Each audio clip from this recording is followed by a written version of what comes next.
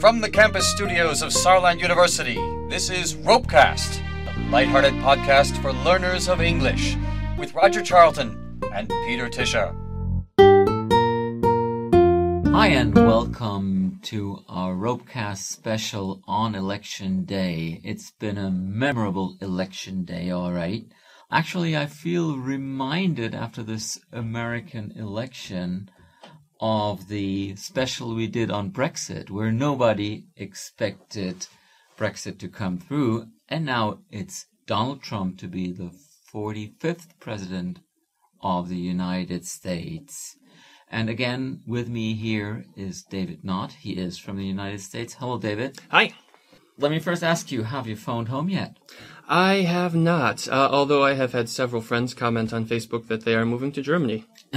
are you glad you moved? I am at this point, yes. Uh huh. Okay. It's still sad to hear you say that.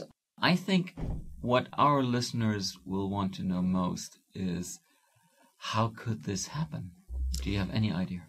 Uh, yes. So my idea is that this election season has been completely about getting rid of the establishment. Both parties had a primary in which there was a popular anti-establishment candidate. Both parties worked to unseat that candidate. Um, since the Democrats only had two, they were able to keep the establishment candidate in front, but since the Republicans had 19 candidates, Trump was still able to come out of it. And so, since Trump was the anti-establishment option and the only one, uh, as as far as practicality is concerned, even though many people didn't like him, they saw Hillary Clinton as the embodiment of the system and establishment, and therefore, um, I think that kind of led to the result that we see. Hmm. Okay.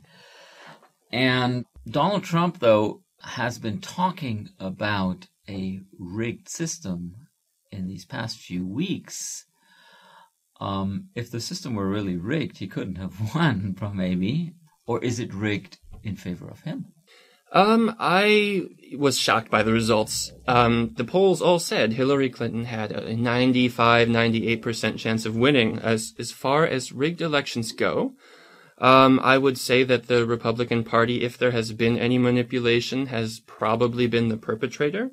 I can't say much about this election, um, but we know from 2000 in Florida and 2004 in Ohio uh, that voting machines aren't necessarily reliable.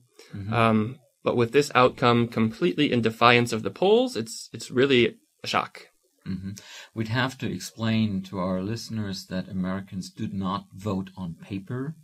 They have not been voting on paper for decades. Uh, they go into a booth with a machine. What does that look like? It's actually different everywhere. So, as for me, I've only ever voted on paper. Uh-huh. But for example, um, I've read that in 2004, Ohio was completely computerized. So you go into a booth, um, you press a button mm-hmm. for the candidate of your choice. It says your vote is recorded, and then you leave. Mm-hmm. Though I did hear a report yesterday saying the new machines with extra security functions mm-hmm. uh, in Ohio had those functions turned off by the Republicans in charge. Speaking of Ohio, in the past 40 years, no presidential candidate came through who did not win Ohio. Could you explain that? Well, Ohio is one of the so-called swing states that presidential candidates campaign the most in. Uh, Florida is another example, Pennsylvania.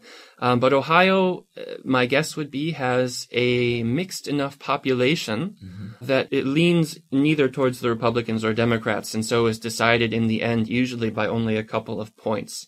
Uh, and so the candidates spent, I would say, close to 75% of their campaign time in three or four states that are considered these battleground or swing states.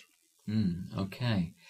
Now, we have the latest polls uh, published by National Public Radio here, and that shows actually that Trump leads Clinton by only 0.1%, which is not much. Do you think that Hillary Clinton or the Democratic Party will ask for a recount of votes? That is uncertain. The news I've seen thus far um, has reported that John Podesta, the campaign manager for the Clinton campaign, said there would be no concession tonight and we'll talk about it tomorrow. We'd have to explain concession. Concession is um, kind of a formal way of saying, I agree that you won and I lost. Um, and normally the losing candidate places a phone call to the winning candidate and congratulates them and officially ends the race. So they said they would not do that. However, I also read that she has done that. I read that too. She f- allegedly phoned him. In fact, Donald Trump said so, that she had phoned him. Yes, and so that itself makes it somewhat suspect, but I'm not sure which news source to rely on there.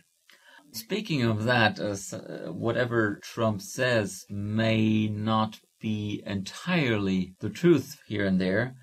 Another NPR article from today, or tonight, whichever you want to call it, states that, quote, if history is any guide, the new Trump administration will not be overly constrained by facts.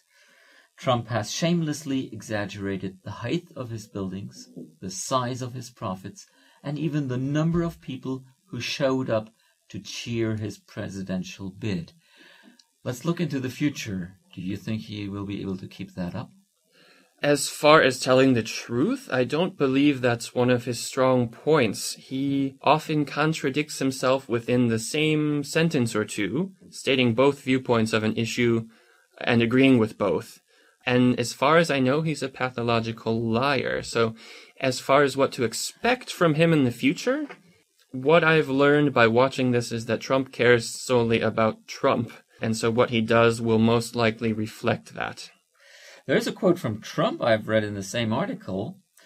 Uh, he said the, to the Washington Post, I always say we have to be unpredictable, which is a rare thing for a politician to say, isn't it?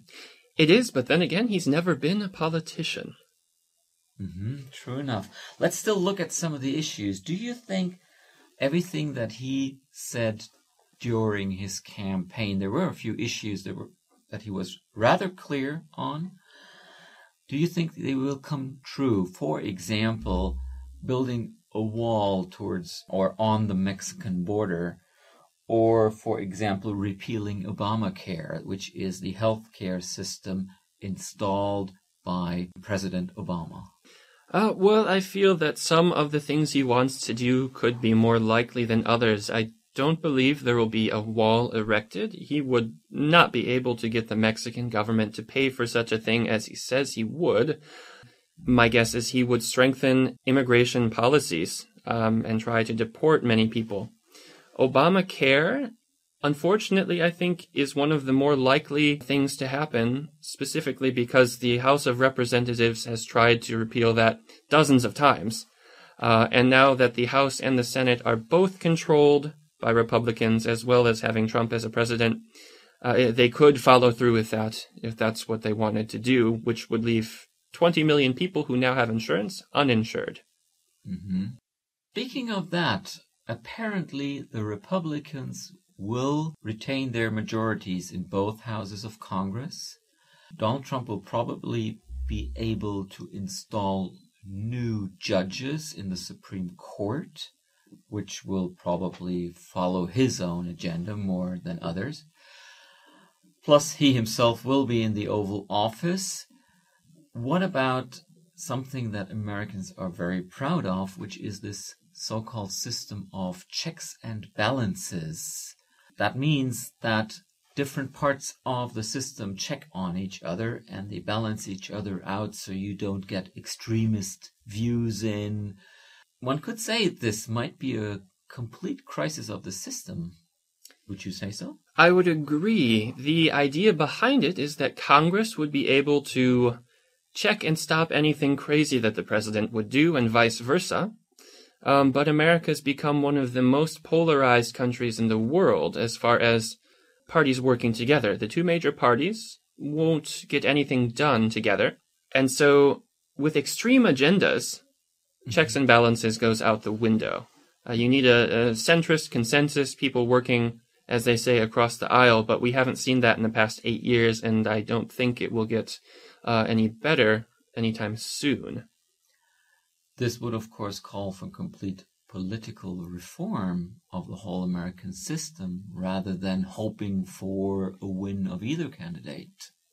Yes. Um, what's interesting to note is that in uh, what's called the Gilded Age, before, somewhat before the First World War, I believe, there were high levels of inequality, and today we're reaching those levels again. At the time in the past when that occurred, people started doing um, what are called ballot initiatives, where voters would vote on issues as well as candidates to address what they needed. Uh, and this year we saw a pretty high number of ballot initiatives in several states addressing things like minimum wage or the legalization of marijuana. Uh, so voters took it into their own hands because they didn't feel that the politicians were giving those issues uh, enough attention. So that could be one direction that the country is headed in. Final question. You think this might be something that will eventually turn out well, or are you really afraid for your country? I'm afraid. Um, the optimist in me says people will realize what a bad mistake was made and then adjust to change it the next time around.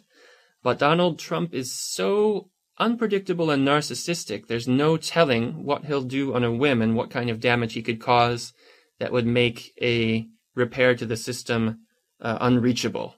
And that's what really scares me. Okay, well, um, I think we could go on and talk about this for hours on end, and probably people will be doing this all over Germany as well, not only in the US. And I believe our listeners may have something to say about this as well. So, folks, please leave a comment either on YouTube, there's always a comment section that is open or you can also leave a comment on our podlog. We'd love to hear what you think, even if you do not agree with us. If you're a strong supporter of Donald Trump, we welcome any polite comments on our podcast or on anything else that is concerned with podcasts or the English language. Thanks for listening, and we will hear us again sometime soon. Thanks, David. Thanks.